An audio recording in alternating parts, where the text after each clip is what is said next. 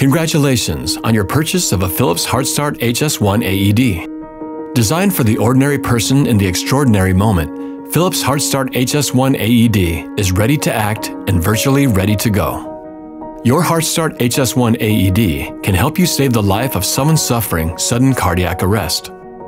In this video, you will learn how to maintain the two accessories that will eventually need to be replaced, the pads and the battery.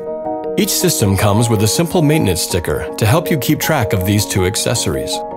On this sticker, write down the key dates for your accessories, the install by date for your spare battery, and the expiration date for your pads. Keep in mind that the date on the battery is not an expiration date. It represents the latest date the battery should be installed into the device in order to ensure full battery life.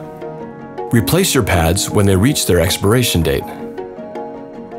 Replace your battery when your device alerts you to.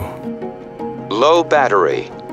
Insert fresh battery. When it comes time to replace the pad's cartridge, slide this lever to pop out the old pads and drop in the new pads, placing the bottom end of the cartridge into the compartment first and pushing down until it clicks.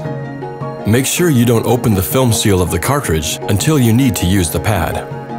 To change the battery, press this latch to pop out the old battery and slip in the new battery, pressing the top end down until the latch clicks into place. The battery can be recycled at an appropriate recycling facility.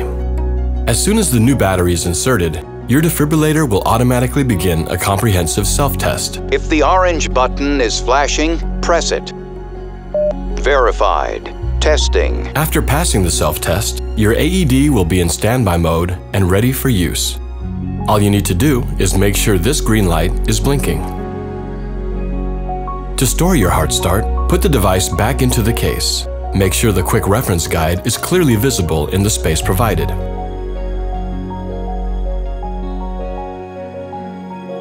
For more information about maintenance and cleaning, check your HeartStart HS1 Owner's Manual.